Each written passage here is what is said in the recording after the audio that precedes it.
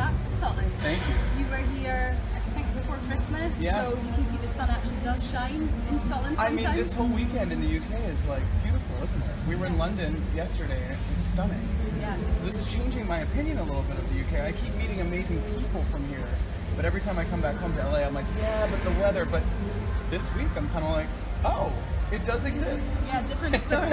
and how are you finding just being in Scotland in general as well? Oh, I love it here. I really, I think that the energy here is very warm. It's a good vibe. I can't wait to see the audience tonight. yeah. And they're, you know, with the sun out till, you know, roughly 10 o'clock and everybody in their summer outfits. It's really great. Yeah, it's cool. Yeah. What, what can we expect from you tonight? Any surprises? Can you feel too much? No, su- nothing surprising. You know, we this is sort of the conclusion of our tour that we've been on over the past five weeks. Um, so less, we're putting what we've been doing in big arenas on the stage here outside, you know, within reason.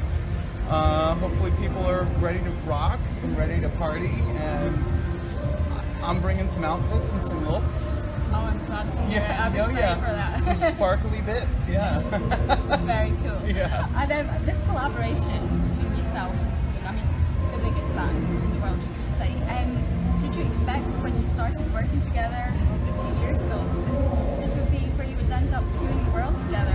Yeah, you know, I didn't know how long it was going to last. I thought it was, you know, when we first started, I, I obviously auditioned for American Idol using Bohemian Rhapsody, and that's how Queen found out about me. And we met on the finale that year. They came and performed, and then they invited me a year later to come do something at the EMAs, and that was the first thing. And then we did a couple shows off the back of that, and then it's like one thing led to another, and it's the gift that keeps on giving. I'm so thankful for this opportunity and, and to travel the world fans everywhere and to sing some incredible music.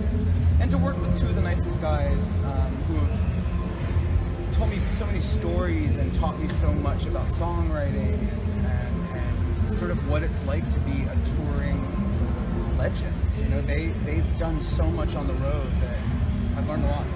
And do you think your involvement as well maybe opens up to audience? Perhaps. Um, you know, I definitely see some of my fans that I've seen at my solo shows uh, here, you know, around the stage at Queen, and and vice versa. I think you know, I'm sure that I've been exposed to lots of fans that I would not have been exposed to because of the majesty that is Her Royal Highness Queen. Um, so yeah, I think it works both ways, and I think that's I think we, Brian and Roger and I all we, we both know that, all three of us know that that that it's this beautiful kind of symbiotic relationship, and it's we all love it. And what about for you personally? Working on new music? What Yes, yes, I am. I've been working on new music for about a year and a half. Uh, I'm very excited about it. it. I think if I could boil it down, I feel like there's a timelessness about it. I feel like it's very um,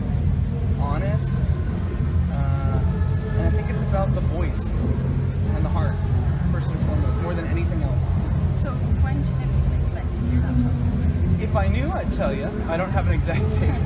Um, something by the end of the year. Yeah, for sure. Great. And what else have you got going on? I was personally wondering if you might have any more appearances booked for Drag Race. No, not as of now. I, you know, I had so much fun on that show. It's become such a huge, huge, iconic show now. I'm so excited. Um, yeah, maybe I'll try to get back on next season. I don't know.